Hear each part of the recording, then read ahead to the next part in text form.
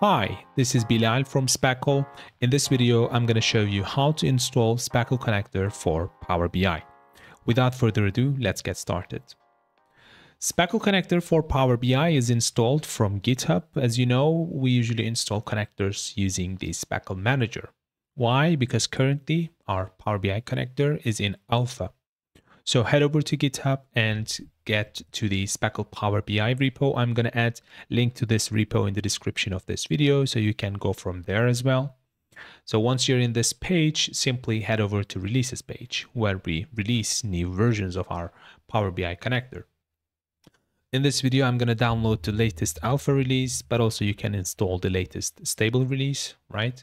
So once you're in this page, simply go to the assets and download the speckle.mez file. So we have downloaded this file. Now let's copy this file and paste it into a specific location inside Windows Explorer. So I'm going to open Windows Explorer and we will go to Documents and inside here, Power BI Desktop Custom Connectors, right? So I'm going to go to Downloads, copy this file and simply paste it into here.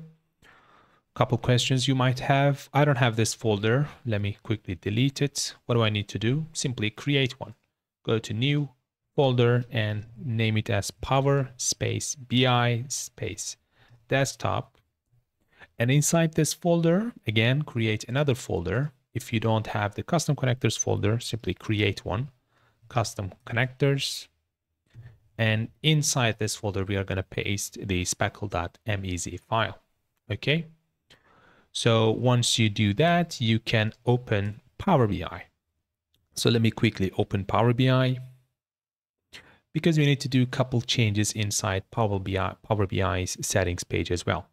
So you probably face the same issue as I did. Power BI prompts us and says that the Speckle connector is uncertified and it blocks it from running. So we're going to make a change in our settings. So I'm going to close this, go to File, and go to Options and Settings, and click on Options. Once you're in this page, simply go to Security, Data Extensions, and change it to Not Recommended. This will allow any extension to load without a warning, basically. All right, so let's click on OK and it asks me to restart Power BI, which I'm to do. Let's run it.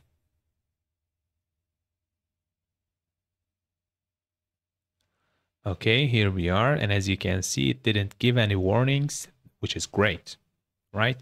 All right, so I'm to click on Get Data and simply search for Speckle. Oops and click on get stream by URL beta, not the structured one, right? This one. Let's click on OK. And it'll ask for a stream URL. I already have one, so I'm going to copy the URL from here. You can also use your own Speckle projects, obviously. So let's go back to Power BI and paste this URL and click OK.